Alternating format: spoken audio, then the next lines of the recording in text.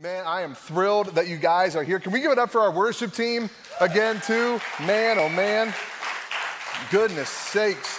Good stuff, good stuff. Hey, I want to do one thing for us real quick, too, before we get uh, too far into today's sermon. Um, go ahead and grab out your phone real quick. I know you have a phone, so I'll, I'll wait. I'll wait until I see the, the, the, ghoulish blue light on our faces, right? Like the. Uh. Pull out your phone, go open up your Facebook app, because I know you have a phone and I know you got Facebook, so open up your Facebook app and I want you to search for Cornerstone Church. And then what I want you to do is share this feed. You'll see our video come up. Just share it to your feed. Just share it to your feed. Um, we had a, a lady get uh, baptized in first service, uh, Sheila Boyd. Her testimony, my goodness, if you missed it, uh, I would say get back online quickly and watch it because my, it was just so, so good. Part of her testimony was that how she found Cornerstone Church was through a Google search, just doing a Google search for non denominational churches in Akron. And she found us and she started watching our services and was just kind of captivated by it, by the worship, by the sermon, by the people here. Um, and so whenever I say share the services, I'm not saying because I want people on your feed to see me. I'm not saying that because I want our numbers to look good. I'm saying that because you literally have no idea who you can be influencing through doing that. It may seem stupid, it may seem little to you, like, uh, why do I need to share it? Really? It's a big deal. You have no idea who it can impact. So, what I would say to you, just make that a regular habit. Every Sunday morning, you just get on your phone, a service is starting, and you hit share on the service because you have no idea the lives that you can change by that one simple thing. So, thank you for doing that. Thank you for following us on social media and helping us spread the word about what God is doing uh, here at Cornerstone. Hey, I am so excited, but it's, it's also kind of bittersweet uh, that we're ending this series today. Uh, emojis. I've been loving saying that word, and the fact that I don't get to say it anymore is a real bummer, uh, a real disappointment. But uh, this series has been discussing just the, the critical aspect of our emotional health. Emotions are important, emotions are critical. They have so much power over your life, over the people in your life. They can determine so many things about how your life goes out. We need to have emotional health. Church, I can't say this enough. We need emotional health. We talked about this in week one of this series that the fact of the matter is, a lot of people, you included, in fact, I would dare say most people, like 99% of people, would rather spend time around emotionally healthy non believers than emotionally crippled Christians. That's just the fact of the matter. Uh, a lot of people would rather be married to those kind of people. A lot of people would rather work for those people and be neighbors for those people with, with people who don't know anything of Jesus, but at least they're emotionally healthy, rather than people who claim Jesus all the day long, but they are constantly lashing out at people. They're constantly bitter and resentful and have zero check on their moods. That is how critical, that's how important, that's how vital our emotions are, and that we get them in check. We will drag our life down and others' lives if we don't do so. Now, this is something I want to say real quick from the onset, and this is something that we've talked about in every single one of the weeks of this series. And I don't want you coming out of here today and people ask, you know, what, what, what's your church talking about? What'd your pastor say? And you say, uh, my pastor's talking about how feelings are bad and, you know, our emotions are bad and they lie to us and moods are bad. That is not what I'm saying. It's not what I'm saying. It's not what I've said any week throughout this series. Emotions are not bad. Feelings aren't bad. Moods aren't bad. In fact, not only are they not bad, they're the opposite. They're good. Like they're a good thing. Emotions, feelings, moods, they're a good thing. They're a God thing and they're an appropriate thing. Like they're, they're good for us to have. Like it's good for us to have emotions and moods. Um, what comes into play though is how do we manage them? Right? I would say that that's probably true for most of life. Whenever we look at life in general, um, a lot of the things that we have are appropriate and God given things. In fact, I've heard a pastor put it this way sin is when you try to meet a godly desire in an ungodly way. Right? And so, whenever you look at our lives and you look at uh, the things in our lives, a lot of the stuff that we have are God given, appropriate, fantastic things, but how are we managing them? So, let me give you an example family. Family is an appropriate thing, it's a God given thing, it's a wonderful thing. But there's probably some people in here, some people watching online, whenever I said family, you tensed up a little bit because your family makes you tense because there's, there's divisions and there's grudges and there's burnt bridges and there's things that have been said and there's hurts that have been made. And so these, these things, you're like, oh man. So families, I mean, they're, they're great. They're a God given thing. Yet there's so many broken families. Yet there's so many uh, messy divorces. Yet there's so many brothers and sisters who don't talk to each other anymore and haven't seen each other at holidays for years because this appropriate God giving thing has been mismanaged to death. The same thing is true with sex. Sex is this incredible God given thing, right? This, this awesome thing that God has given mankind, yet how often do we just abuse the crap out of it? How often do we mismanage it and, and pervert it and turn it into this just awful, uh, dishonoring thing, right? It's an appropriate, God given thing that we mismanage. Same thing is true with some of our natural skills. Man, there are some people who are just so charismatic and they've been that way since they were a baby, right? They're just like really outgoing, very charismatic. And that's just a natural, God given skill. It's like a personality trait that the person has, but they mismanage it. And so later on in life, they use that charisma and they mismanage it uh, and they end up uh, uh, uh deceiving people with it or trying to use people with it, trying to get in people's good graces to be able to get what they want with it. All of these good, appropriate, God given things, but they're mismanaged. Which brings me to this. I think this is a safe assumption to say um, everybody wants happiness and fulfillment in life. I think that's a pretty safe assumption online. Anybody, I don't, I don't see anyone that, no, I want to be miserable my whole life. In fact, there is so much, think about it, everything divides us anymore. Like we can't agree on on anything. That might be one of the only unifying qualities of mankind. that we all, every single person, wants happiness out of life, wants fulfillment out of life. Um, we're all there, we're all in the same boat. And here's the thing it's not just us that want that for ourselves, God wants that for you. Like, like God wants you to have a fulfilling life. I didn't say a prosperous life, right? Not prosperity gospel, but God wants you to have a fulfilling life. Like he, he wants you to not just like manage and kind of get through until your death. No, he's wanting you to live a life full of purpose and full of fulfillment. So, so here we have us wanting fulfillment and, and happiness out of life. We want to experience those emo- emotions and moods and feelings more often than not. And then not just us, but God wants that for us too. So here's my question Why do we so rarely get there? right? I mean, why, why do we so, if, if we want that, if we want happiness and joy to be the, the, the definer of our life more often than not, and if not just us, but God wants that for us too. The most powerful, the ultimate being, the Alpha and Omega wants that for us too. Why are so many of us just settling in for dysfunction?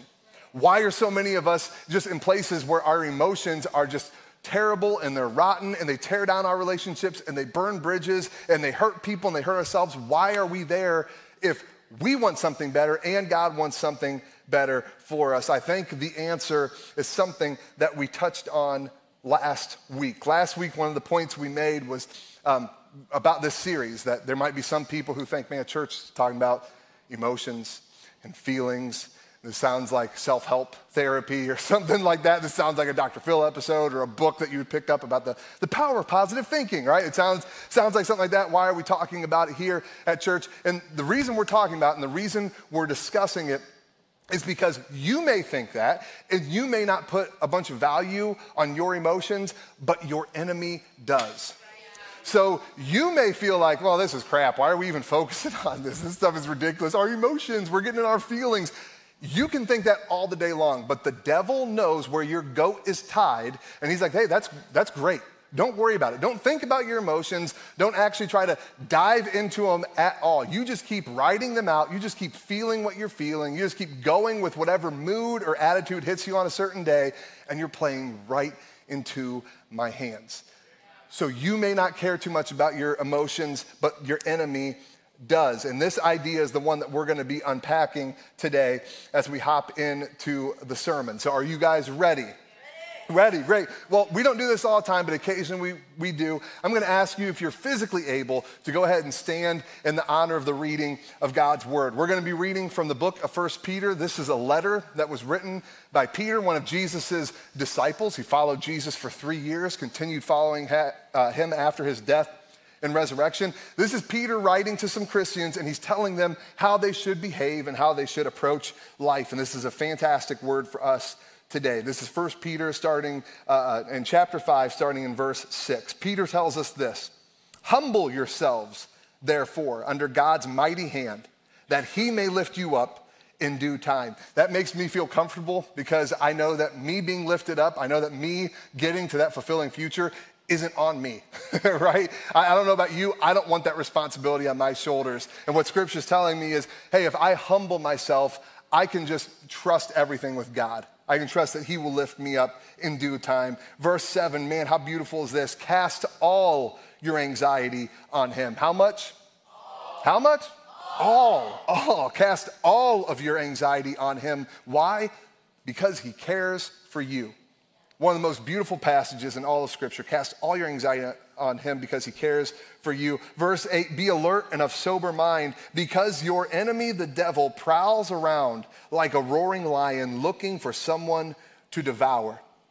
Resist him standing firm in the faith because you know that the family of believers throughout the world is undergoing the same kind of sufferings. Isn't that amazing how, whenever you know that you're not the only one going through something, it makes you feel better? not because you're like, well, good, it's happening to them too, but because there's just there's this camaraderie that you know, man, I'm not. Not only am I not going through this alone, but chances are there's someone who's not going through this. They've gone through this and they've got to the other side and they're still intact and they're still honoring God. And it gives you a kind of confidence when you know that. And then Peter closes it out this way in verse 10 and 11. He says, And the God of all grace, if you do all these things, if you humble yourself, if you cast your cares on God, if you are alert and of sober mind, then the God of all grace, who called you to his eternal glory in Christ, after you have suffered a little while, will himself restore you. He will make you strong, firm, and steadfast. To him be the power forever and ever. So good. You guys can go ahead and grab a seat. As I read that, one thing that really stuck out to me as I'm reading this is the devil is not a good hunter. Like he, he's not a good hunter um, because scripture just told us what? Uh, be alert and of sober mind. And your enemy, the devil, prowls around like a roaring lion looking for someone to devour. Now, I'm not like an expert in lionology. I don't even know, don't even know if that's a thing, right? Like I don't, I don't study lions for a living, but I, I, did read up a little bit on them after reading this verse just to find out a little bit about their hunting habits, things like that. And as I was reading about them, you, you see that lions, whenever they hunt, how they hunt, it's all about stealth, right? You may remember the Lion King, Mufasa teaching Simba how to hunt. He's going up on Zazu. He's being real quiet. He's downwind and everything, right? That, that's how, I love that that's where my like knowledge of, well, how lions actually hunt, if the Lion King is to believe, be believed. Um, but th- that's how they hunt. And this is, this is interesting. This is why they hunt that way. Lions are actually slower than almost every kind of prey they go after. Pretty much everything that they eat on the food chain is quicker than they are. so they need stealth. They need to be able to sneak up. Most lions won't even make their pounce, won't even make their attack until they're at least 30 meters or closer to their prey because they can't catch up with them. So whenever I read this and I'm like, okay, so lions, they hunt, they look for something to devour in silence, in stealth. Then I read scripture says, Your enemy, the devil, prowls around like a roaring lion looking for someone to devour. Um, lions don't roar, as they hunt. it botches the whole plan. The, the whole point is stealth, right? So the, the devil, he, he's a bad hunter. You see, because why a lion roars, the whole point behind their roar is to give themselves away. That's it. Like if they're roaring, a lion's roar can actually be heard about five miles away by the human ear. Think about that. Five miles away. It's loud. There's no mistaking it. There is nothing subtle about the roar of a lion, right? And so whenever scripture says that Satan, he's walking around like a roaring lion, to me, I'm going, man, he's, he's a bad hunter. He's giving himself away. He essentially, Satan is showing us his cards, right? He's a bad hunter. He, he is giving himself away. He's showing his cards. We know what he's up to. We just need to be alert and of sober mind to recognize it. We have to be alert and of sober mind to actually recognize what he's doing. So let's keep that in mind. The devil is a bad hunter. I want you to tuck that away for a minute as we move on. So um, I want to talk about appetites real quick for a second. Has anyone ever been hangry? Hangry. Yes. My people, some of you look a little hangry right now. You probably didn't get breakfast and you're like, can this dude shut up so we can get to lunch, right? Um, hangry, it's that combination of hunger and anger, right? You're, you're so hungry, you're starting to get a little testy. You're so hungry, you're starting to get a little frustrated and like, all right, can we move this on? Can we get going? I, am I'm, I'm hungry. I need to get some food in my stomach. Um, there's a meme that went around for a while that I was like, man, I relate to this way too much. Uh, it said, if I say I'm hungry, we got about 17 minutes before I become a different person. Like, the clock is running. Like, I'm about to change if we don't get some food in my stomach. I felt personally attacked by that. I'm like, that is me. um, the funny thing is, is that, that, that sensation of being hangry, of being hungry, it comes from uh, our appetite, right? That's literally what our appetite is. Our appetite is this God given notification that He's wired into our body, where whenever our body is requiring nutrients or it's requiring uh, uh, uh water, anything like that, our body literally sends a signal, like our, our brain sends a signal, our stomach sends signals to let us know hey, you need something in your stomach. You're requiring this kind of vitamin, you're requiring this kind of nutrient, this kind of food. Um, and so it's alerting us. An appetite is a God given alert, it's a notification telling us there is something we need to be paying attention to. And it's something that we, God has put us in charge of managing to a degree, right? Our appetite, we have to manage it. And there's different ways we can choose to manage it. I brought out uh, some, some little snacks to show. We got a pineapple. Any pineapple fans? There we go. We got some bananas. Who wants a pineapple? Who? Just chuck a 10 pound pineapple out into the crowd. We, do, we paid our insurance premium for the month, right?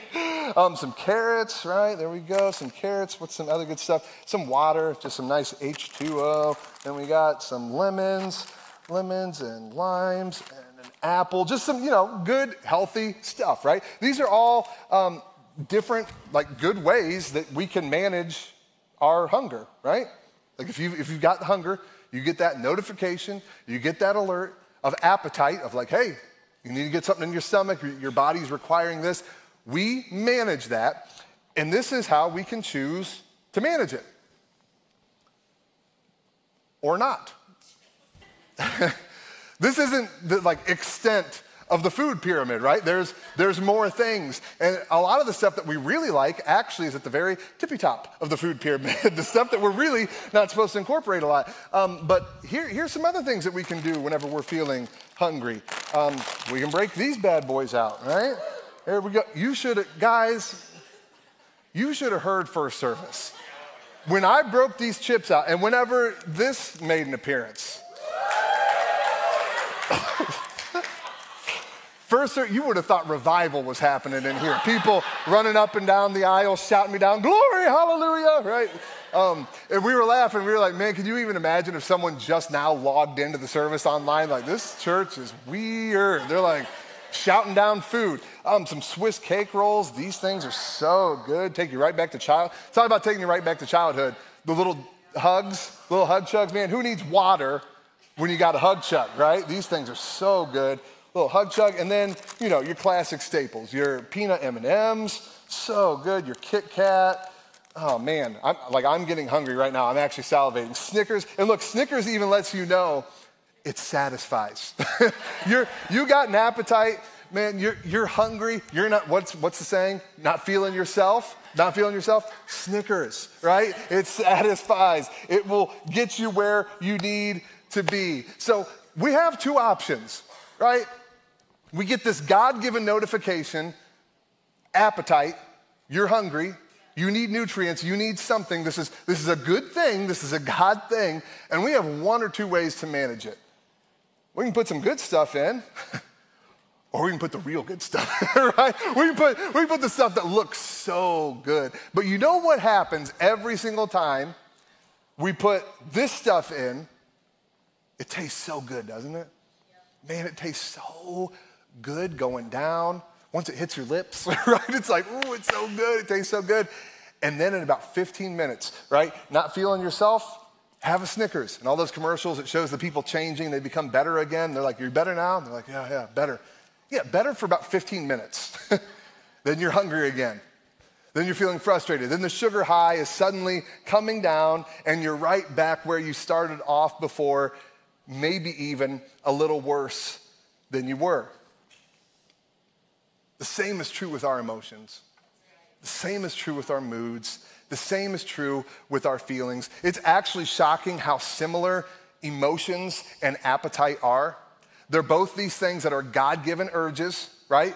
They're, they're, a thing that He's programmed and hardwired into our body an appetite and an emotion. Um, there, there's nothing wrong with them on the face value. Uh, they both come and go, right? You can have a, a, craving for a certain kind of food. You can have an appetite for like just one thing that just sounds so good, right? You can have this craving, this appetite, and then it will just dissipate. It'll go. The same thing will happen with an emotion. You can be so sad, so depressed, so bitter, so angry, so resentful, so happy, and then it's gone, right? They both come and go, and both of them are so unbelievably strong. Have you noticed that? Man, whenever you are hungry, it's like you can't think about anything else. Whenever you're mad, whenever you're frustrated, whenever you're depressed, it's like you can't think about anything else. Whenever you're going through grief, it's like you can't think about anything else. It's so strong, it's so all consuming. So here we have our emotions, this appropriate God given thing. There's nothing wrong with it on its face value, but how do we manage it? How do, how do we manage our appetite? Do we put in the good stuff or the bad stuff?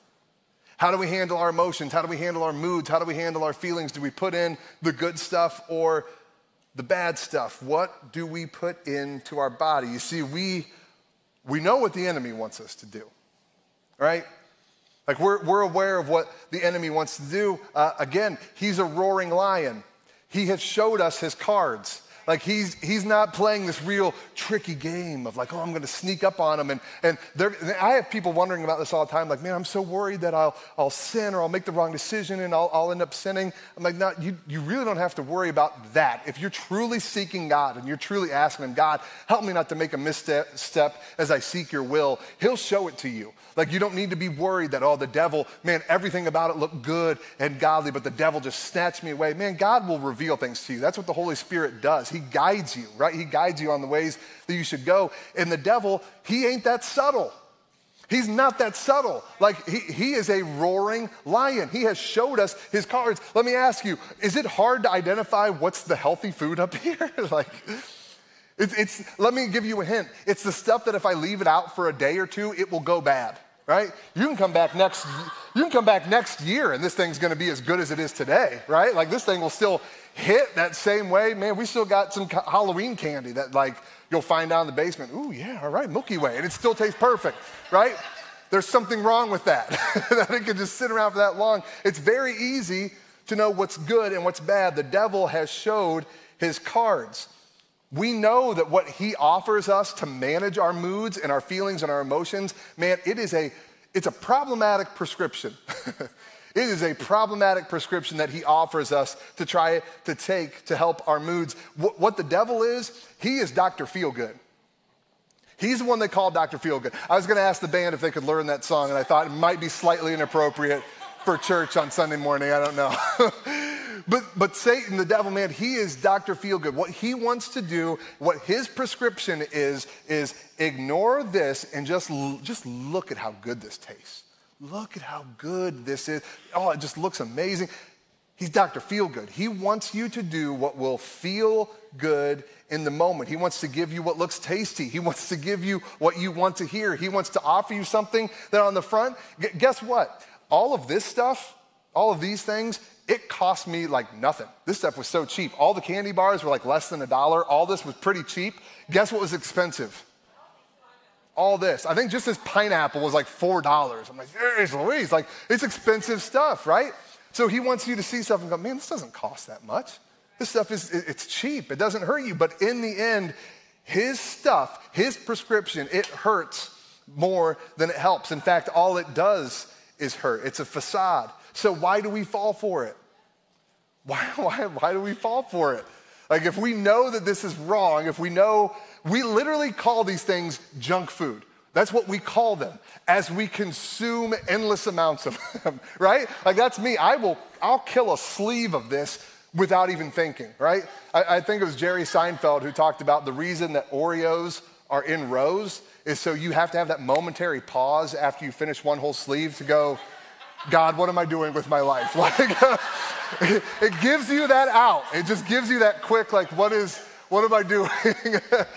and so uh, we'll go through these things. We'll just, we'll, we'll kill these because it, it looks so good and it seems like it doesn't cost too much, but man, in the end, it hurts us, but we fall for it time and time again. And that's because the devil knows, our enemy knows, man, people just want joy.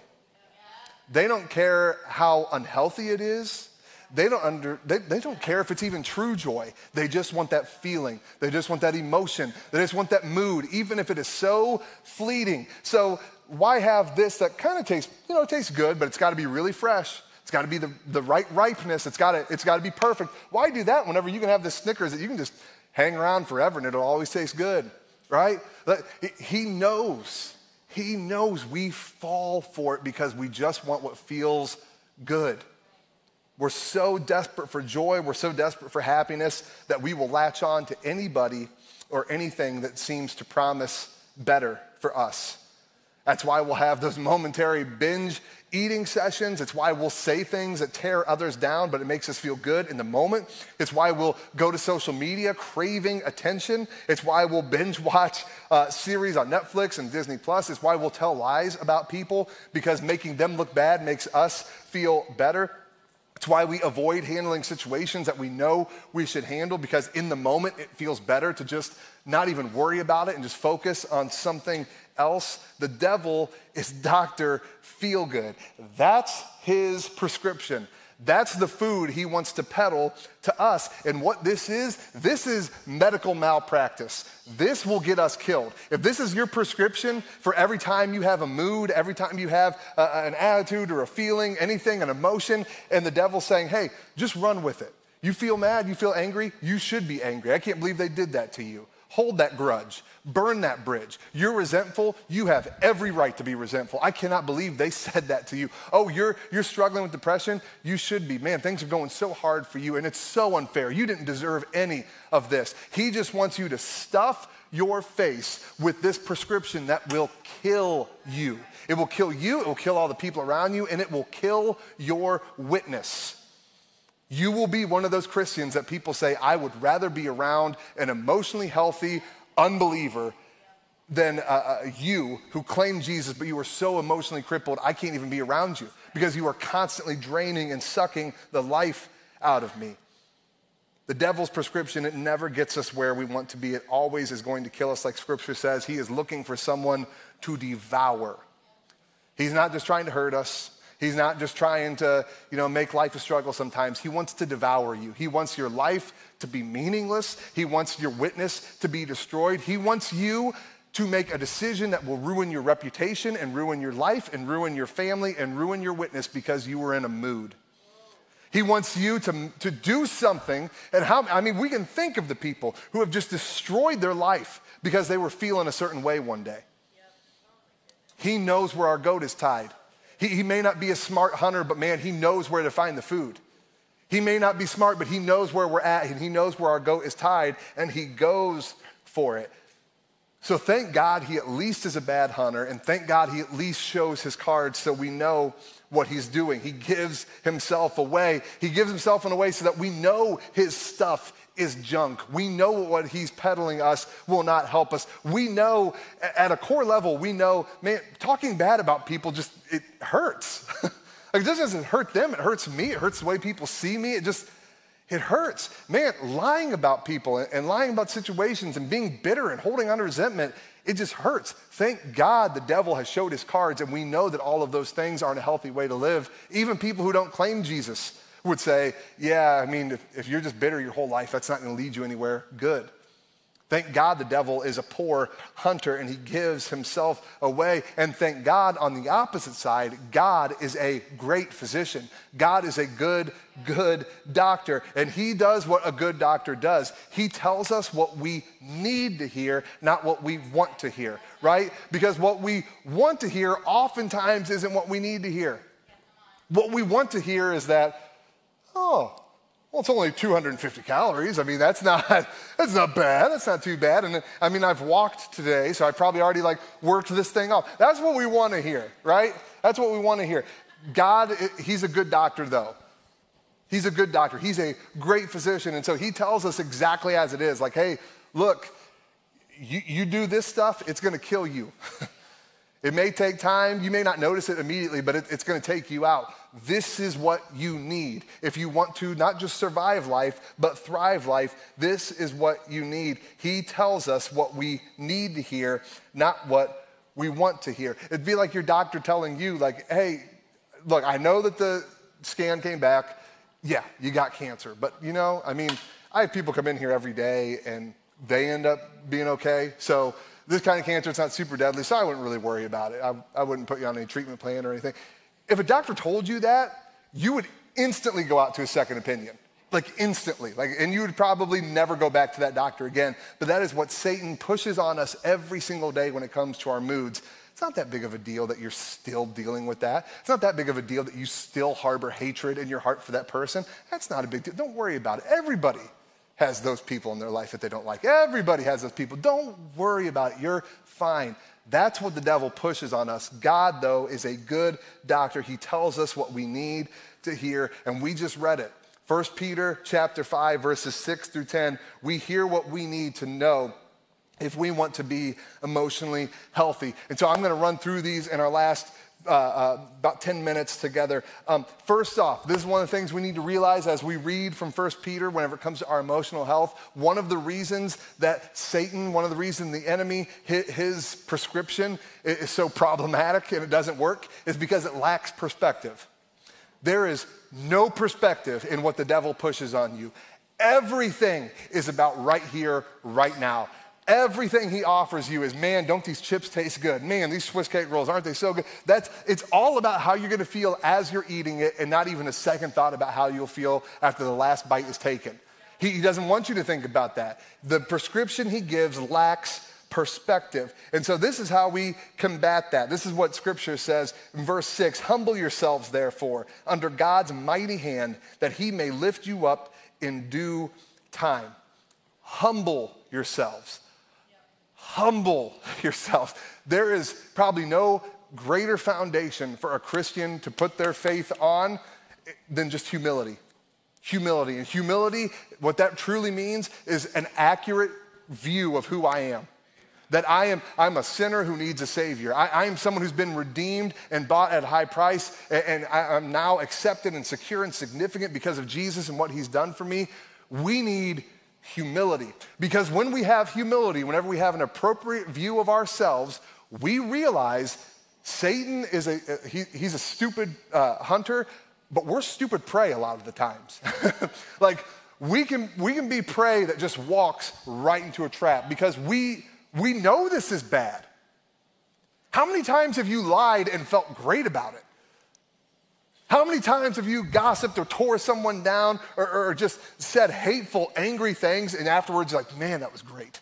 Can't wait to do this again. Who else, who else can I tear down? This is awesome. It doesn't happen. And going into that decision, you know it doesn't feel good. But you still do it. I still do it. And it's in those moments that I do it that I realize I am not humble enough because I think that I can like just kind of handle this stuff on my own. I think that my emotions and my moods, I'm qualified enough to handle this. And well, I'm different than everybody else. So for me, this lie isn't that bad. Well, I'm different than anybody else. So for me, this isn't gossip. I'm different than anyone else. So things are always different for me. We need humility. We need to realize, man, no, I, I fall for just terrible prescriptions all the time, knowing they're terrible going in. I fall for it all the time. We need that humility. My, my wife, Jessica, um, I'm so grateful for her. We really balance each other out in awesome ways. One of the ways we do that is I'm terrible when it comes to discernment. It's a very biblical, churchy word, but basically just means being able to like kind of tell how a situation's going to go or tell a lot about someone without knowing a lot about them. Just having that kind of gut instinct, that feeling. Mine's terrible. Like I have no discernment. like I don't like I'm I'm the kind of person if I would have hung out, like if I would have been old enough to hang around Charlie Manson before everything came out, I'd be like, man, Charlie's a good guy. Old Chuck. Yeah, he's no, he's a good people, good people. I have terrible discernment, like just terrible. Jessica, on the other hand, man, she'll she'll call out a situation and be like, man, I don't know about that. And then six months later, you're like, how did you know? And she's like, I, I don't know. I don't even know those people, but I just I had a feeling about it. How silly of me would it be, knowing how good she is at it, to just ignore her advice and be like, no, I got this thing handled. I'm good. I'm good. I don't need her to speak into it. That would be crazy. That would be crazy. It'd be stupid, right? It takes humility to realize that and go, you know what? I'm not good here. You know what? If not for the grace of God, I'm going to fall apart here. And so, God, I need your help. We need humility. Humble ourselves under God's mighty hand, and He will lift us up. And that humility, you know what that says? That humility says, I'm, I'm going to ask you for help, God, because I'm not a good doctor, but you are. I'm not a good physician. I, I, shouldn't be prescribing my own medication when it comes to handling my moods and my emotions and my feelings, but you should because God is a great physician with a great prescription. This is what scripture says in verse 7 Cast all of your anxiety on him because he cares for you. Cast all of your anxiety upon him because he cares for you. Think about that. God wants all of it. All of it. There's not a piece of dysfunction in your heart. There's not an emotion or a mood or a feeling that you have that God doesn't say, just trust me with it. Just trust me with it. I, I know you feel angry and I know you feel resentful and I know you feel hurt and I know you're feeling grief. Just share it with me. And it is amazing how, whenever we do that, whenever we go to a good doctor, how things just instantly lighten up for us. Man, uh, me and Jessica, we were just driving yesterday to a wedding, and on the drive, um, I was talking to her about something that was on my mind. It was just kind of like bothering me, just bothering my spirit and my soul. And I talked to her about it. The second we got done talking about it, I instantly felt better. Nothing changed. Nothing changed. All that happened was I just offloaded my cares, my worries, my thoughts, my concerns. I offloaded them off of me to someone else, and I instantly felt better. Isn't that crazy? How much more so if I felt better from that by sharing this with a trusted person, my wife? How much better I felt after that? How much more so when I go to God with my worries, my cares, my concerns, my feelings? Because Jessica can't do anything. She's just my wife, she's just a person. But man, whenever I go before God, I go before His throne with these things that are worrying me because He's someone who can change me. He can change other people if they're involved. He can change the situation. He can actually do something about it. That's why Scripture says, man, don't, don't cast your anxieties and your cares on other people. Don't, don't, don't go and just unload yourself. I mean, of course, there's a, there's a time and a place for counseling, and there's a time and place for venting to a trusted person, like your spouse or something like that. Of course, there's a time and place for that. But God's saying, man, that's what I'm for. I created you. I, I know your inmost being, I know your heart. Cast that stuff on me. You will be shocked how much better you feel. God is a great physician with a great prescription. And let me tell you, getting healthy by taking your emotions and your feelings and submitting them to God and having Him help you work through those, those will get you healthy. And I cannot stress this enough. I cannot stress this enough. I cannot stress this enough. You need to get emotionally healthy.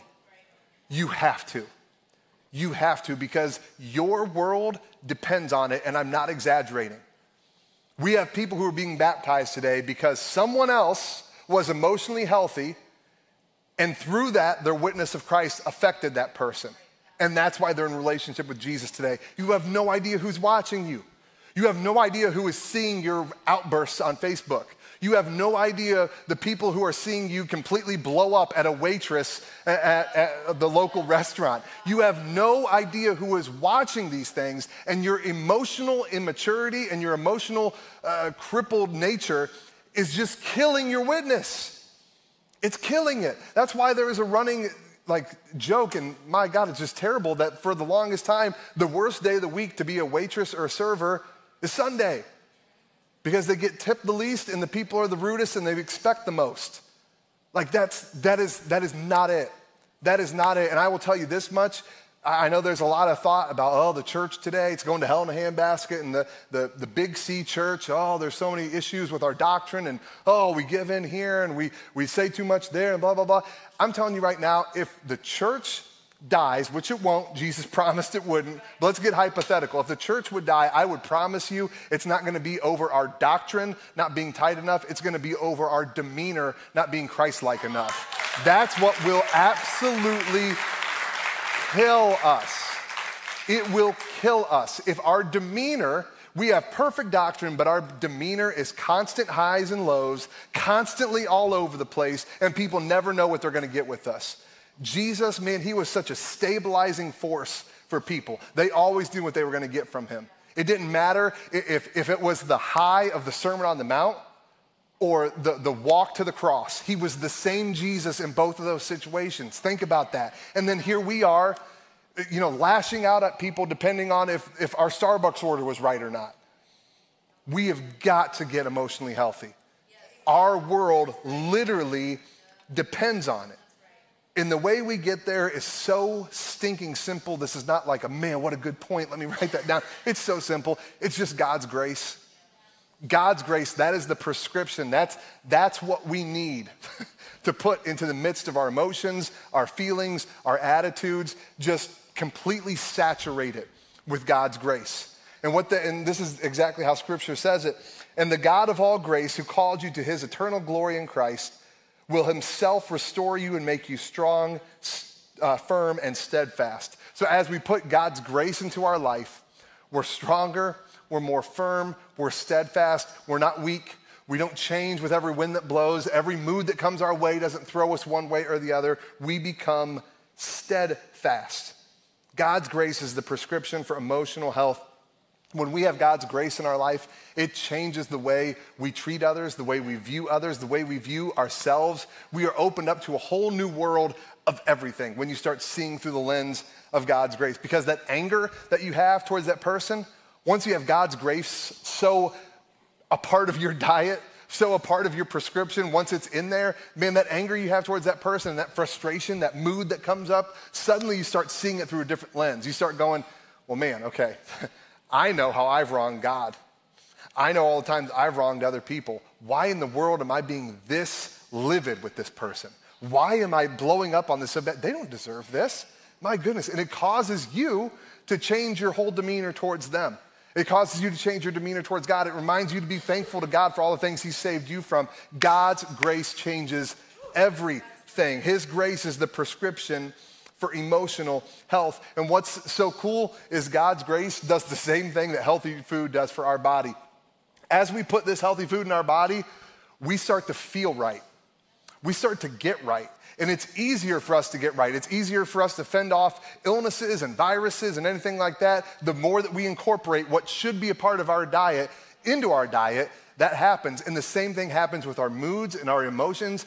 I promise you, you start incorporating God's grace, you really get yourself immersed in it. And every day you are just astounded how God's forgiven you and that you need to show that to other people, that you need to give grace and, and truth to people. Whenever you do that, you will start noticing your moods will change.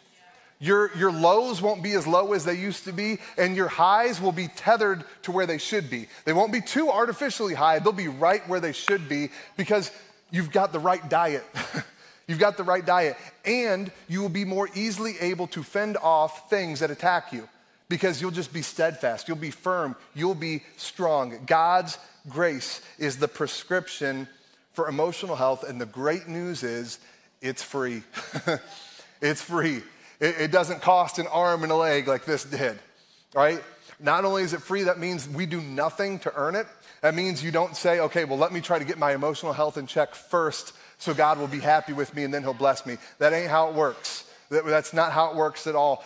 God works through His grace. You don't get this without His grace. You don't have a healthy life and emotional health without His grace completely working in your life. And what's so amazing is we have got, I'm looking out here, I see people in our midst who have experienced that, who've experienced God's grace. And what's amazing is today we have some people who are making a public declaration that they have experienced God's grace through baptism. Isn't that exciting? We've already had four people in the 9 a.m. service.